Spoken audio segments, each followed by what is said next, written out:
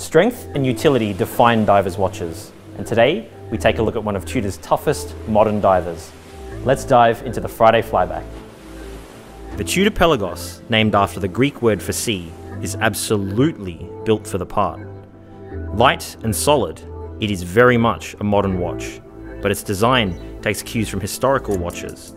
In particular, the snowflake hands bring back the vintage Tudor divers issued to Navy divers all around the world. On the wrist, the bracelet can expand and contract with a special spring loaded mechanism that offers supreme comfort when you're going from the desk to the deep sea. This level of quality extends to the movement, with the Pelagos being powered by an in house movement protected from magnetism, making the watch tough, rugged, and ready for action.